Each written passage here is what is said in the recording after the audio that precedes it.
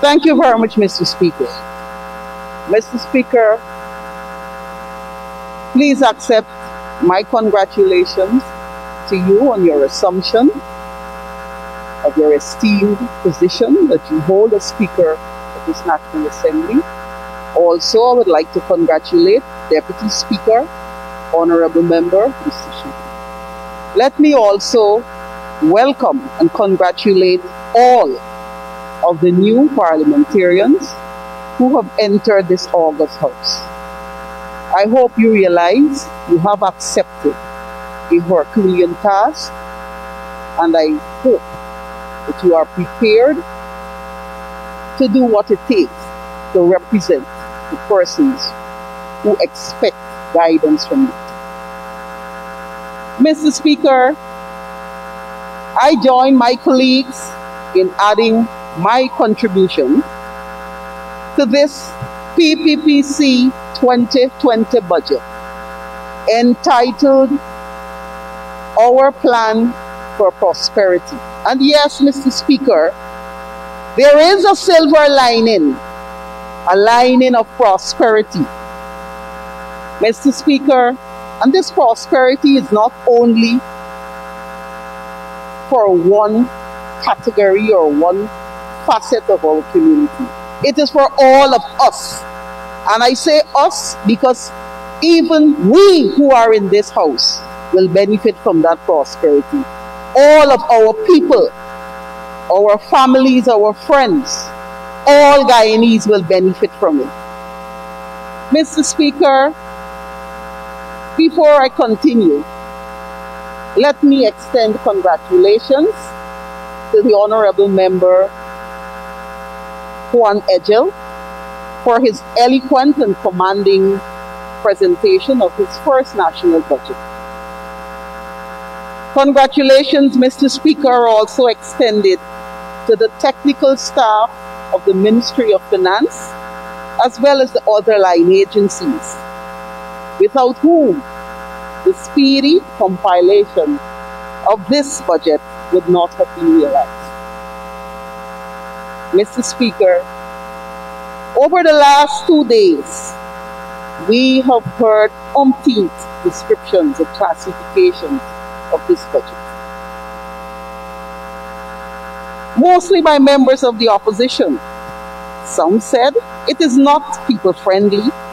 Some said it was designed for the private sector, while others sees it will increase the riches of some and pauperize the majority.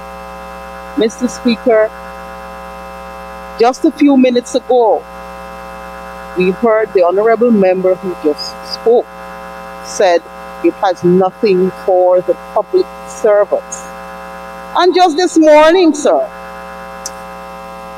none less a person than the former, the honorable minister of the public service also voiced those very concerns. It makes me wonder, sir, are the public servants a new class of aliens that have arrived in this country? The public servants are Guyanese like every other single Guyanese who will benefit from this budget. And they will also be benefiting, sir. Mr. Speaker, the Honorable Minister of the Public Service, as well as the Honorable Minister Juan Edghill, outlined in detail all of the benefits that will be accorded to every single Guyanese, including the public servants. They are members of this country. They are members of our society, our communities. They are not a separate kettle of fish. They are Guyanese like every other single person and they will benefit equally. They will benefit from the tax releases, reliefs. They will benefit from every, from training, from scholarships like every other Guyanese in this country. Why do we single them out? Why are we singling them out? Mr. Speaker,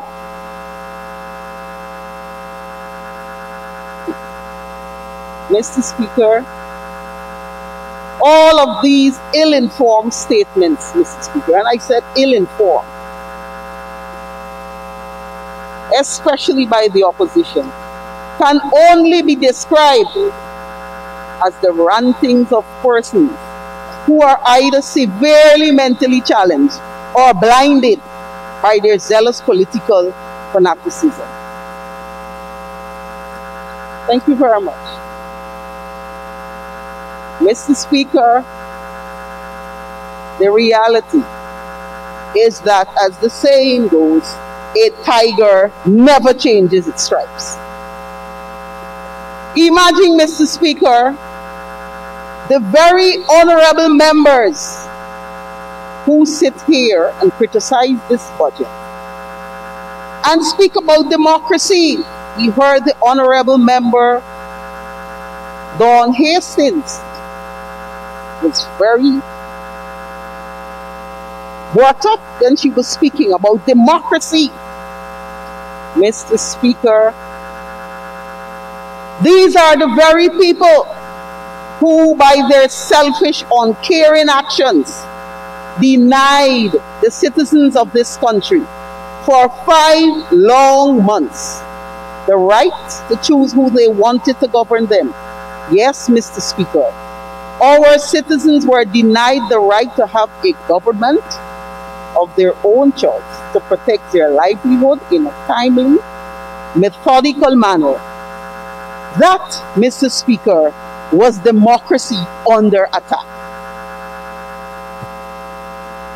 Five long months, Mr. Speaker, of stress, anguish, and frustration.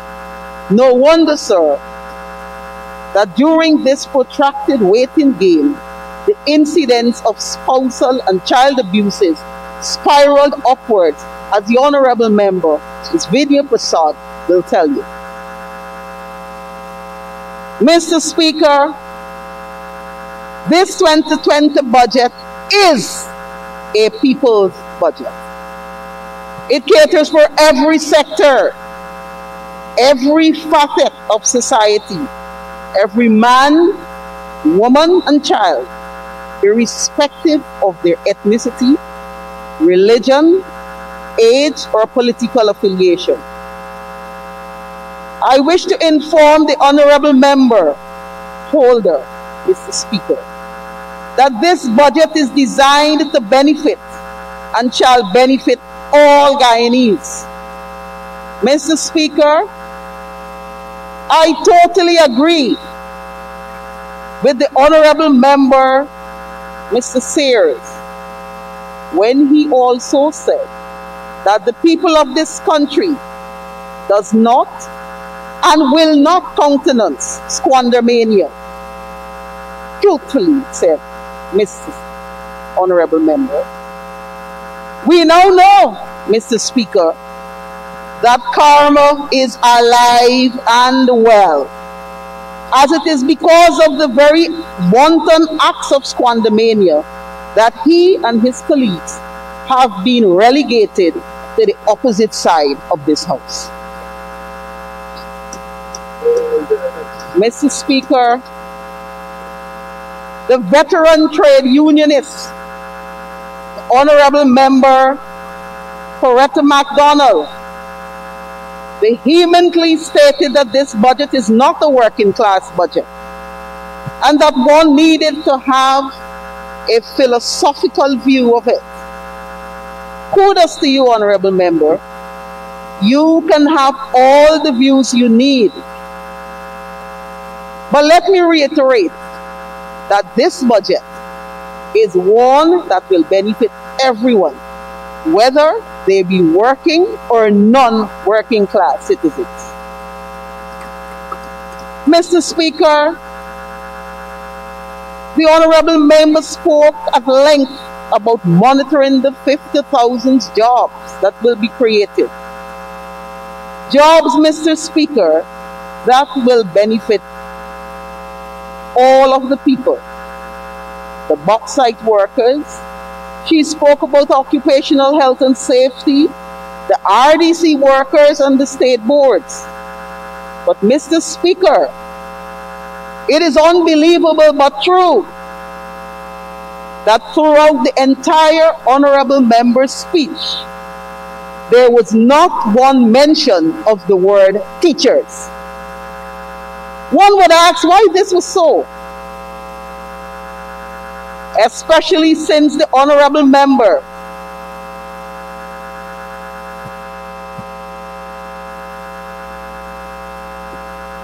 I'm trying not to answer you, Honorable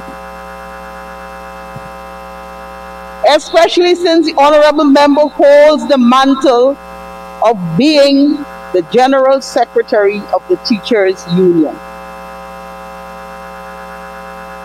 The fact is, Mr. Speaker, after a protracted struggle between the teachers and the then APNU administration for improved benefits, the Guyana Teachers Union made a right about turn and left the teachers out in the proverbial cold. Mr. Speaker, the betrayal of Jesus by Judas for a mere 30 pieces of silver is well documented. But one would never have envisaged that our teachers would have been made to suffer a mirrored betrayal by none other than the esteemed Guyana Teachers Union General Secretary. Mr. Speaker, it is well documented, Honorable Member,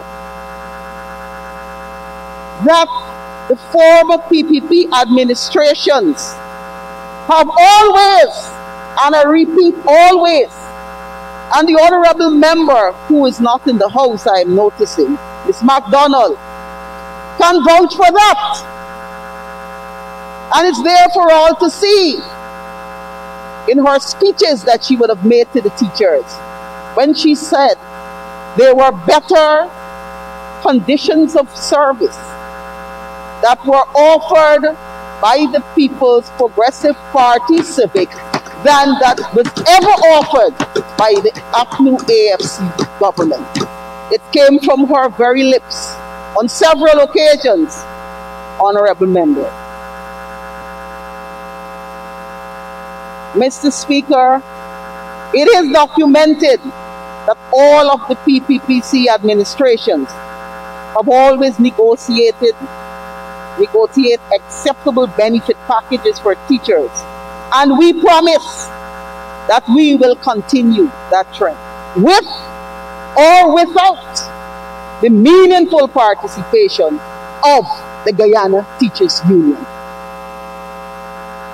No, Mr. Speaker, no longer must our teachers or our primary educators be deemed greedy or selfish during their quest for improved conditions of service.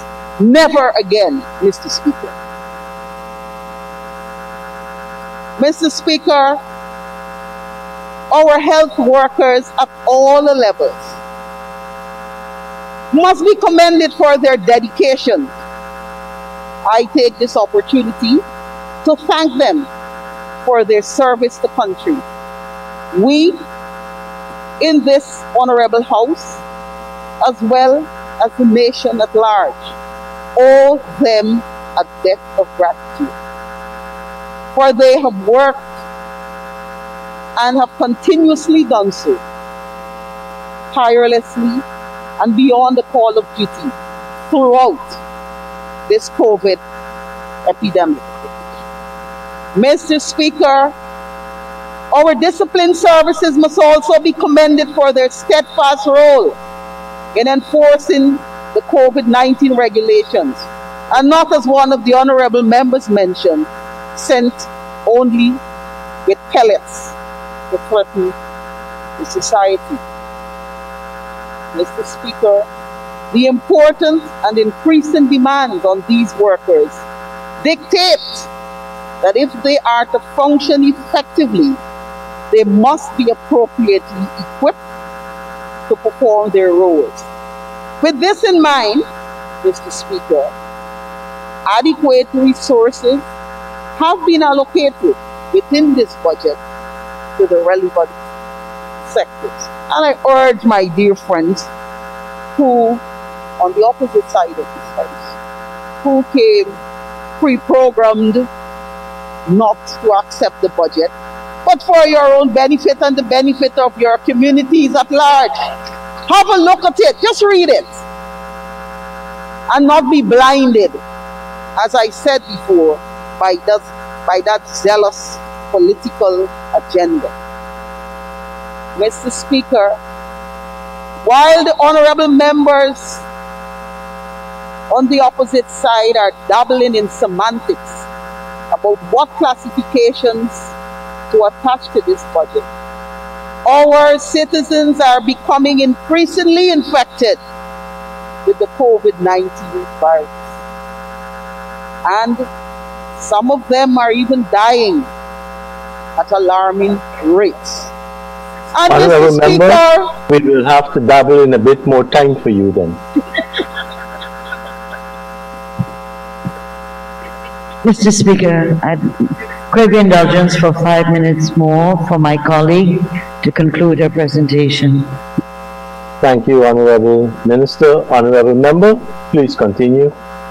And Mr. Speaker, the Honorable Member on the opposite side when he spoke, he said that during the APNU AFC's reign, the COVID virus was not running and it's now starting to run. Honorable member, please be informed that it could not seem to be running because nobody was being tested. The more you test, the more you will find if it's there. Those who have eyes to see, let them look and you shall find it. And that's what we're doing. That is what we're doing. Honorable member, hadn't you been tested? You're lucky we're here that you got tested. Where ignorance is bliss, it's folly to be wise. Mr. Speaker, our citizens lack opportunities for employment or are losing their jobs because of this very virus. Food prices have spiraled beyond the reach of many of these persons and they cannot afford to service their bills. It is therefore imperative, Mr. Speaker, that the relief measures enshrined in this budget is implemented with alacrity. Mr. Speaker, one must look at current circumstances. One must look at projections and trends for the future. And one must look at how decisions of the past will impact on the decisions for the future. Mr. Speaker, the People Progressive Party civics governments have always had outstanding success with our programs and policies designed to protect the disadvantaged and the most vulnerable in our society. By improving monitoring and evaluation methods, we will ensure that these programs will remain effective and relevant. We will review our social sector programs in consultation with civil society to ensure that they are channeled to those who need them the most and not that has happened in the previous administration distributed to friends and families. This government, Mr. Speaker, believe that in order to pull ourselves out of the difficulties which the previous administration has put this country through, corruption and rampant squandermania, the collective efforts of all our citizens is required. Mr. Speaker, we are facing dubious times as a nation. This is not the time, Mr. Speaker, for grandstanding and stand-up comedy shows, the likes of which we saw during the presentation by the Honorable Member Duncan. This is the time for serious business. This is the time for nation rebuilding. Mr. Speaker, we all pride ourselves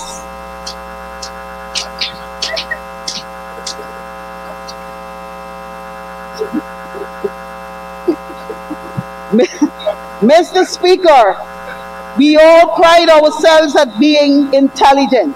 That's fine, sir.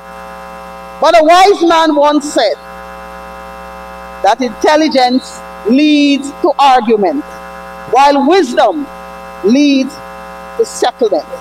Let us all, therefore, in this honorable house, aspire to attain more wisdom than intelligence. Let us demonstrate our citizenry that we in this honorable house are capable of positively leading, not misleading and inciting them along the wrong path. Mr. Speaker, the honorable member, Ms. Cathy Hughes, mentioned about social cohesion and her words were